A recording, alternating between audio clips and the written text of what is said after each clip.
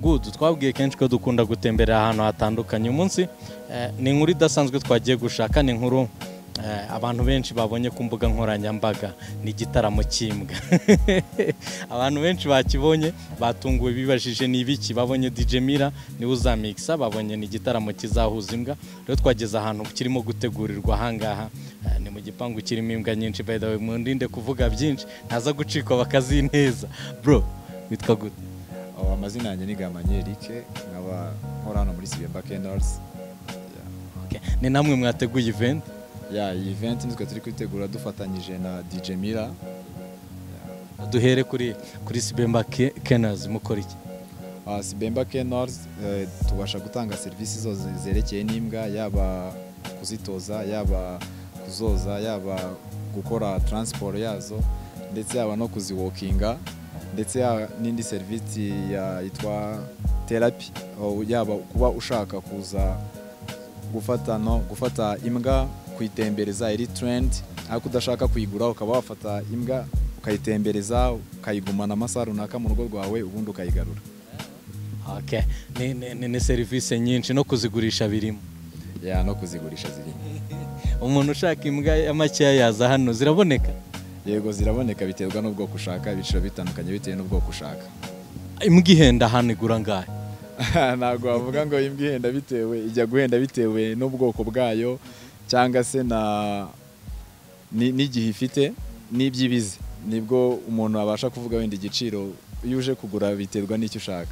Reka reka kuko ni, ni, ni business cyangwa se ni uburyo ah, bw'ubucuruzi butari busanzwe mu mujyi wa kigali cyangwa se abantu batamenyereye. Nshaka ko babohoka bakumva ko korora imbwa cyangwa se gutunga imbwa. Hari n'aba- hari n'abavuga ngo si ukuzorora. Njyewe njya ntekereza ko ari no kuzitesha agaciro rimwe na rimwe. Wese ko ubifata akenshi njye ntabwo nabasha kugaba wenda abantu babivuga kuko ukuntu ibihe bigenda biza iterambere rigenda riza abantu bagenda babyumva. Iyo abantu batarumva ibintu rero bavuga ibyo bashatse akenshi bitewe n'uko batabizi cyangwa batarabigeramo ariko uko twatangiye ibi bintu abantu benshi bagenda babasha guhindura imyumvire kandi turizera ko igihe kizaza abantu benshi bazagenda ba- bafata ko imbwa atari nk'uko- bayivuga. Ibintu iza atari nk'ibyo bavuga n'ubushobozi bwayo be kuba babushidikanyaho kuko ni n'iyi show turi gutegura na byo iri mu mpamvu twayiteguye kugira ngo abantu babashe kubona ubushobozi bw'imbwa. Ishoboye iki izi iki yakora iki? Ya. tutarajya kuri shosho yo na yo turayijyaho mu kanya. Ah, mbwira imbwa wagurishije menshi kuva watangira ino business wayigurishije angahe Ah, si- sinzi wenda ibintu by'ibiciro sinzi ko kubigarukaho cyane wenda ariko biterwa n'ubwoko bwayo kuko wenda nshobora kuvuga ati n'urugendo nka Berger Allemand igiciro cyayo kiba gitandukanye na Pitbull kiba gitandukanye na Boerboel ni ibintu biba bitandukanye ariko ubundi nka Berger Allemand nziza ushobora kubibona hagati y'amafaranga wenda ibihumbi magana atatu kuzamura bitewe na na yo ubwayo ukuntu imeze. Biterwa ni na, na rase yayo. Good, urumva ko ni business ni ubucuruzi buke ushobora gukora ku bihumbi ukabona ah, ibihumbi magana atatu ugurishije PS imwe. Imbwa na yo ushobora gucuruza imbwa imwe bakaguha ibihumbi magana atatu. By the way ni ibintu umazemo igihe kingana gute bro? Oh, iyi bizinesi twayitangiye umwaka ushize wa bibiri na cumi n'icyenda mu kwezi kwa cyenda ni bwo twayimuritse ahagaragara. Ya. byaturutse. Ah, ikintu cya mbere ni uko twese ni ubuzima twakuriyemo ni ibintu twakuze tubikuriramo. Ikintu cya mbere twatangiye iyi bizinesi byari urukundo. Rw'imbwa ntabwo byari intego y'amafaranga kuko aka kanya n'ibintu byose turi gukora ni ibintu bijyanye n'uko twe dukunda imbwa tubana na zo. Muri make ni ubuzima bwacu bwa buri munsi. Ni ibintu dukora nk'uko ubyuka ukajya ku kazi natwe ibintu dukora mu buzima bwacu buri munsi. Nyuma y'urukundo twisanga ko ari ibintu dushobora no kubyaza umusaruro bitewe n'uko serivisi zikenewe cyane n'abanyarwanda. Nta nubwo ari abanyarwanda gusa n'umuntu wese utuye mu gihugu na serivisi tuba zitanga no hanze y'igihugu ariko ikintu cya mbere cyatumye dukora ibi bintu igitekerezo cyaturutse kuko tubikunda. Ah, ah, wenda ndaza kwibaza urimo uravuga uti tubikunda. Ni, koperative ni kampani no ni kampani ni kampani Oh, ni kampani igizwe n'abantu benshi. Oh, ni kampani igizwe n'abantu benshi abakozi yego. Yego twatanze n'imirimo ku rubyiruko of course. Ah, ni kampani eh, ikora ibyo yavuze haruguru batanze n'imirimo ku rubyiruko. Rushobora gukora ibyo ibyo ngibyo nyine bavuze. Hanyuma ah, reka nganire kuri wowe noneho ni wowe mfite aka kanya. Dusangiza ka experience gatoya mu minota mikeya. Urukundo rw'imbwa bro warukuye he?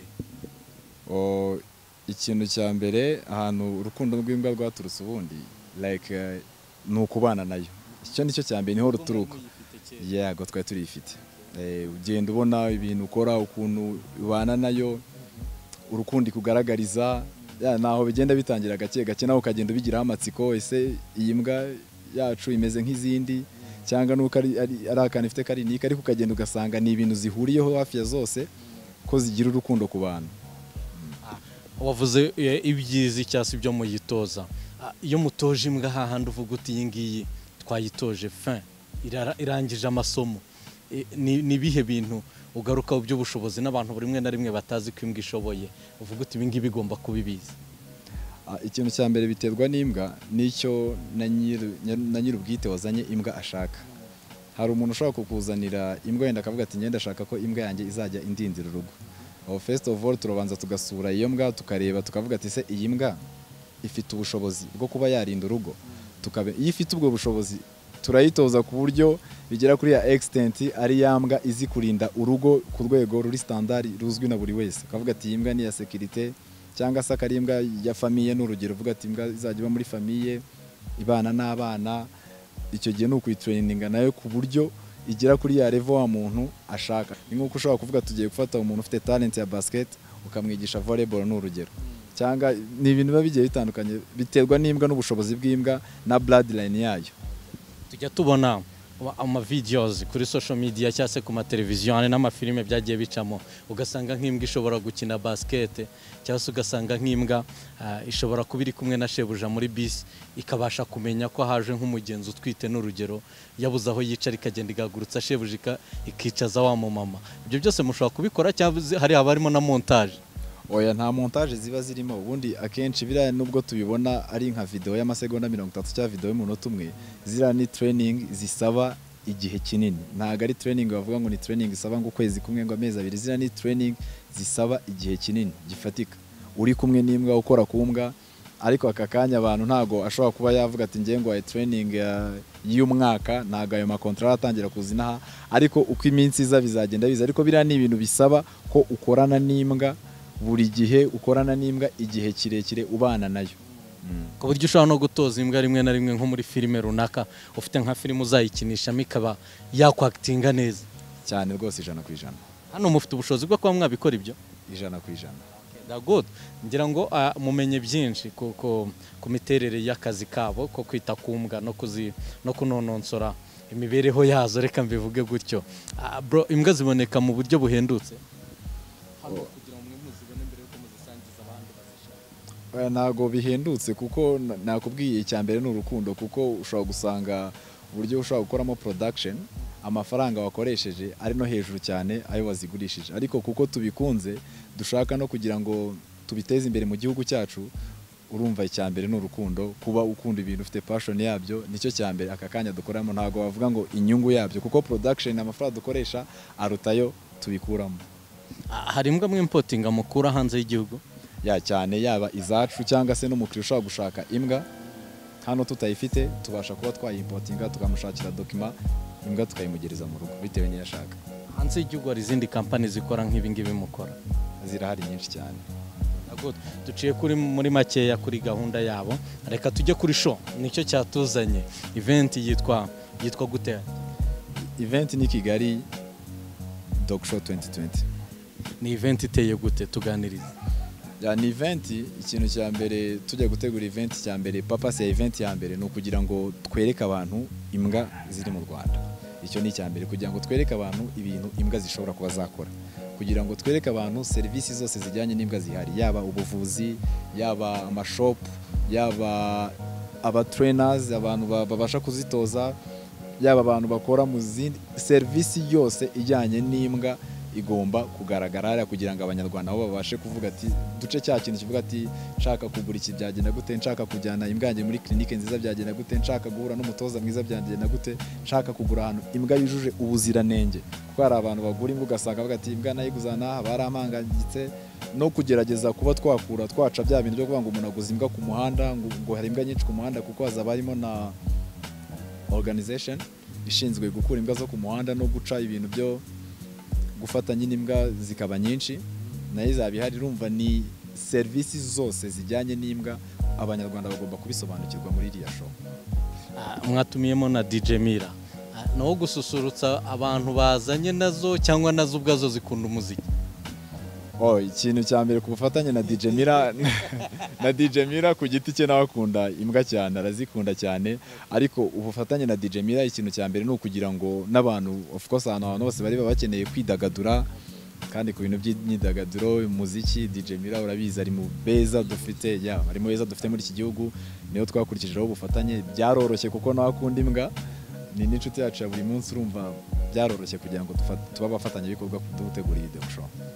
Cyangwa imbwa na zo zikunda umuziki za- zazanyurwa nawo igihe azaba ari gucuranga. Of course na zo zirishima nahoze mbona abantu eh, nahoze mbona abantu barimo kwibazayo utubazo twinshi kuri DJ Mira. Azaba acurangira imbwa cyangwa ni ibibazo byinshi bari barimo kwibazaho way ngira ngo barasobanukiwe. Ah, show izaba ryari izabera he? Show izaba ku itariki makumyabiri na zirindwi z'ukwezi kwa gatandatu umwaka wa bibiri na makumyabiri na makumyabiri. Izabera ku Ineza Garden O, si abantu benshi barahazi Ineza Garden ariko tuzagenda tubasha no kugenda tubayobora tubereka inzira baca tuborohereza mu rugendo rwabo muri make. Neza garden irahagana hehe exactly iri Kinyinya hafi na Centre de Sante kinyinya hafi na centre de sante umuntu ushaka kwitabira show even if yaba adafite n'imbwa mwamwemerera yego rwose twamwemerera ijana ku ijana. Bisaba iki kugira ngo umuntu azatendinge show? Bisaba ni ukugura itike. Hari itike za bitatu uyiguze mbere wayigura ku munsi wa show ni ibihumbi bitanu. Ariko nko ku bantu bafite imbwa bo ikintu cya mbere tugenda tubasaba tunabakangurira ni uko babasha gukora registration imbere. Kugira ngo tuzamenye umubare w'imbwa uzaza tunafatanye kugira ngo bizagende neza na sekirite ibe imeze neza ijana ku ijana. Ngiye kwibaza nta nta agisida zishobora kuhabera ugasanga nk'umuntu azanye imbwa iryana abantu batari babizi ugasanga iriye abantu oya agisida zo tu- tuzabasha kuzirinda mbere zose kuko nanone hari n'umubare ntarengwa w'imbwa ntabwo imbwa zizaba ari nyinshi ndetse n'abantu bazazana imbwa bo bagomba kubivuga mbere kubimenyesha mbere z'ukwezi kwa kane kuko tuzanabasura turebe imbwa zabo zujuje ibyangombwa ko bazaza ahandi hantu hari imbwa zirakingiye ziri hejuru y'amezi atandatu ntabwo ziri aggressive ziri trend ni hari conditions zigomba kuba zujuje rwose hari amategeko kugira ngo twirinde nk'izo agisida wari uri kugenda uvuga. Abanyarwanda wabasaba iki aka kanya kugira ngo eh, iyo show bumve ko ari show nk'izindi zose? Ikintu cya mbere nasaba abanyarwanda abenshi bari kugaragaza ko babifiteho amatsiko hari n'abari guteraho komantere ziri negative ziri positive ariko ni byiza cyane kuko akenshi iyo ntazi ikintu akenshi harigendera komantere ntazi ko iri negative cyangwa iri positive ariko nkatera komantere ikintu nabasaba ni uko babasha kwitabira bakabasha gusobanukirwa bakabasha no kumenya byinshi ku mbwa noneho nyuma wenda bakazatera amakomantere cyangwa bakagira ibindi bintu bavuga bahibereye banavuze ati noneho twabibonye bimeze gutya na gutya ubushobozi bw'imbwa ni ubu ngubu ni ubu ngubu. Bicisha amatsiko. Babwire nk'akantu kamwe ah, utekereza yuko ah, umuntu uzitabira azabona. Ku mbwa atarazi. Akantu atarazi ku mbwa bitewe na nyuzana nabonye mufite imbwa nyinshi byanze kunze hari n'iyo uziho ubushobozi uzi neza ko ihari hari n'izo mwatreninze uvuga uti hari ha- nk'iyi mbwa wenda muzayibona ikora ibi n'ibi n'ibi. Kugira ngo bumve ko ari ibintu bidasanzwe bazabona. Ya ikintu cya mbere wenda ni show. Ahantu hose hari show aba ari show. Ibintu bigomba kuba ari byiza ijana ku ijana. Amatsiko wenda nabatera ni nk'ibyo navuze haruguru hazaba hari serivisi zose z'imbwa. Ndumva amatsiko abumbiye aho ngaho. Harimo abatoza harimo abavuzi hari umuntu ushobora kubwira ati imbwa bayikorera operasiyo. Ntabimenye hari umuntu ushobora kubwira ati imbwa urayitoza ukayihindura imyitwarire. Ntabimenye ndumva nyine ubundi amatsiko abumbiye aho ngaho bitewe n'abantu bose bazaba bahari. Amatsiko n'aho ngaho abumbiye bazaze birebere. Ikibazo cya nyuma turi kugana ku musozo ah, hari igihe bakora ama operasiyo mu turere dutandukanye cyangwa mu mijyi itandukanye ugasanga bari guhiga imbwa ngo bazice. Eh, za- zariye abantu cyangwa se bakunda kuvuga ngo zasaze. Ugasanga bikozwe n'imbwa imwe ariko nko mu karere cyangwa se mu murenge wose barazihize barazishe. Mwe- mwebwe iriya action muyakira gute? Kubera ko numvishe ko mwita ku. ya ikintu biriya ntabwo ari ibintu bishimishije habe na gato. Ariko nanone ni ibintu bibaho kuko hari amaserivisi menshi ataragera inaha ari byo nakubwiye hariya hazaba hari amaserivisi yose abantu bazabasha gusobanukirwa nk'iyo organization nakubwiye ishinzwe gukura imbwa ku muhanda. Iri no mu bintu bigabanya kwica imbwa kugira gute kugira ngo kuko hari umuntu utabusobanukiwe agatora imbwa ku muhanda ntabwo ikingiye ntabwo igize gute. Araje arayifungiranye umunsi wose akayikingura nijoro muri make nawe ari gutortira nk'iyo mbwa. Iyo mbwa nuyisohoka igipangu izarya umuntu ugasanga nyine ni ibyo bintu dukwiye kwigisha abanyarwanda uburyo imbwa ukwiye gushyira mu rugo ibyangombwa igomba kuba yujuje ibisabwa urebye n'ibyo ngibyo ku- niyo mpamvu turi gukangurira abanyarwanda benshi kugira ngo bazaze basobanukirwe hazaba hari abantu benshi basobanukirwa hariya na serivisi zitandukanye zerekeye ku mbwa. Ushobora gukura imbwa ku muhanda uyu munsi. Witoraguriye ukaza ukayitreninga ukayifata neza yari imbwa iri aho ngaho nyine yo ku muhanda ikazavamo imbwa nzima ushobora no gushyira ku isoko. Ntabwo wayishyira ku isoko kuko bitandukanye. Ariko imbwa ukuye ku muhanda ukaza ukayitreninga ukayite- ukayikingira ukayifata neza urumva byanze bikunze ubihindure n'ubuzima. Ubuzima buhindutse ibonye ko ifite abantu ibona izindi mbwa ngenzi zazo zibaho ikamenya na sitati yayo ikamenya n'uburyo igomba kubaho ahubwo bene izo ngizo nyine bagenda baziha abantu bashaka kuba babona imbwa ku buntu. Rimwe na rimwe abantu rero birirwa igihe habaye ikibazo runaka bajya babiyambaza mukajya kuzitorera mukazitreninga mukaba mwanazigabiramo abantu aho kugira ngo bazice cyangwa bakore amaoperasiyo yo kuzihiga.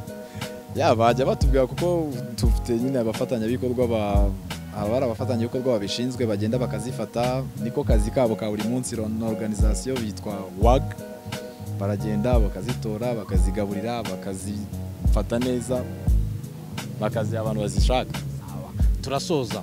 Ah, umuntu ushaka kugura imbwa cyangwa se ku- ku- ku- kubagana yaba ari ukuyigura yaba ari ukushaka umutrena yaba ari ukuyivuza yaba however mu byo mukora hano. Ya- ya- yabasanga hehe cyangwa se yababona gute? Oh, umuntu ushaka kugura imbwa cyangwa ushaka training cyangwa waba ushaka igikoresho cyangwa waba ushaka kuyoza ko tuyoza cyangwa ushaka iyo kuza gufata ukaba uri kumwe na yo amasaha runaka ni ahangaha kimihurura wadusanga aderese zacu kuri instagram twitter facebook twitwa sibemba kenors bifatanye mu nyuguti ntoya cyangwa se kontakte zacu wenda nimero ukaduhamagara. Nimero kuri social media ziri. Ya hose ziriho kabisa. Ubashaka ntabwo yababura. By the way turamushimira cyane kubera ko aradufashije hari benshi musobanukiwe yaba igitaramo yaba ah, uburyo babana mu buzima bwa buri munsi bwo kwita ku mbwa. Ah, ngira ngo urakoze cyane. Murakoze nawe cyane.